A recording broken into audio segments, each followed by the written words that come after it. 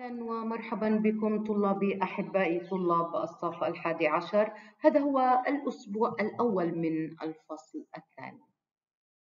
عودة حميدة إن شاء الله ودعونا نبدأ بتغطية المادة.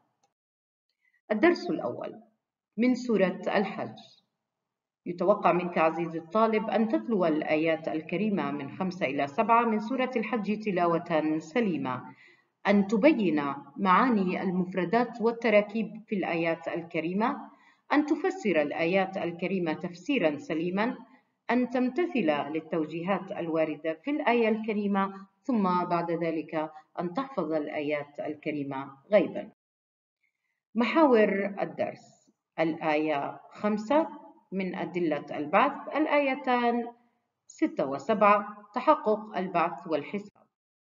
وردت الآيات الكريمة آه، هنا لترد على منكري البعث من خلال بيان قدرة الله تعالى على إحياء المخلوقات كما كانت قدرته على خلقهم مرة أولى.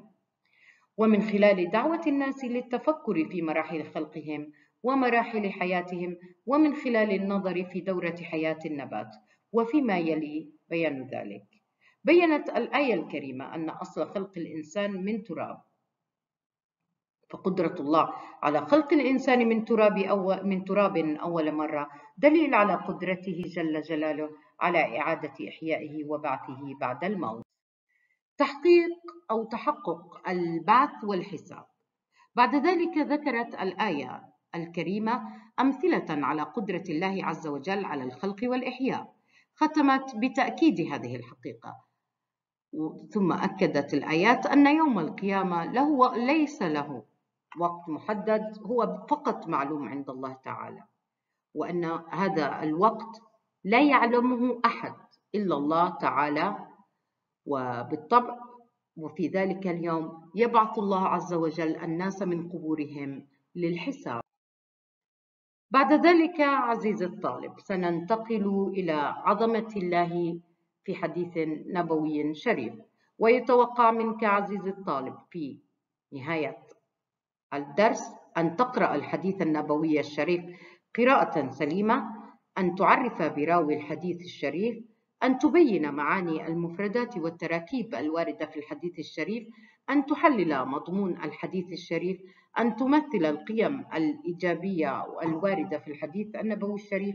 ثم بعد ذلك أن تحفظ الحديث النبوي الشريف المقرر. طيب هنا محاور درس عظمة الله تحريم الظلم حاجة الخلق لله تعالى وافتقارهم إليه استغناء الله عن خلقه عدل الله تعالى.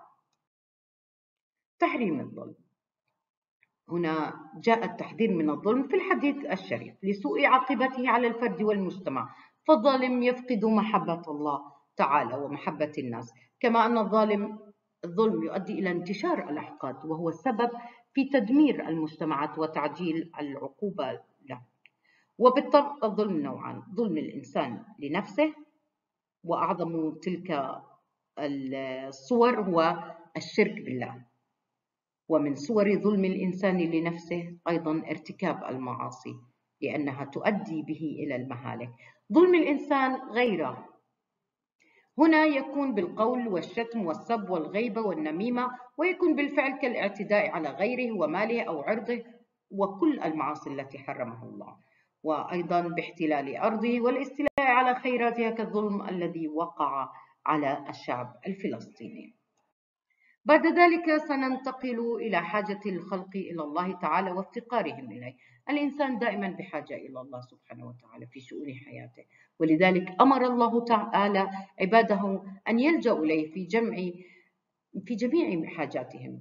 ووعدهم بالإجابة لما طلبوا فهو مالك مفاتيح الرزق وهو صاحب المغفرة.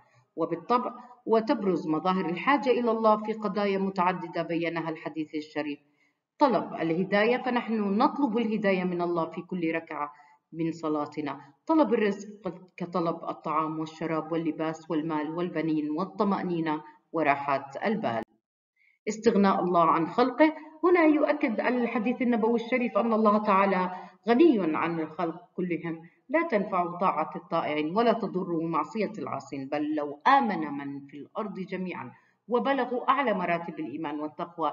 لم يزد ذلك في ملك الله شيئا. هذا إضاءة سريعة لما سنتناوله في الأسبوع الأول من الفصل الثاني. أتمنى أن أكون قد وفقت فيما قدمته لكم. طاب نهاركم بكل الأمل والخير والبركة.